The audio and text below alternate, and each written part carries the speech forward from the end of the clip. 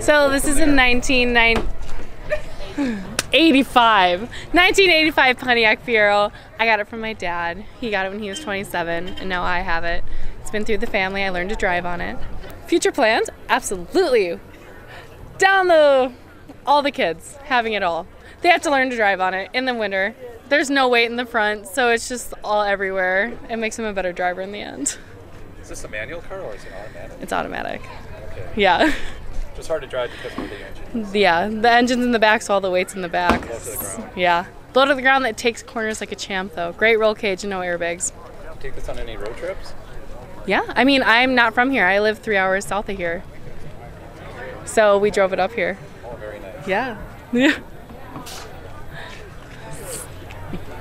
Do you have any uh, social media accounts you wanna? What, what pictures of the car you wanna?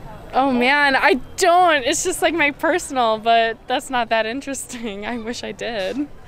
I mean, I'm a big fan of the Fiero Fanatics. I mean, go follow them. I'll be in the Dells.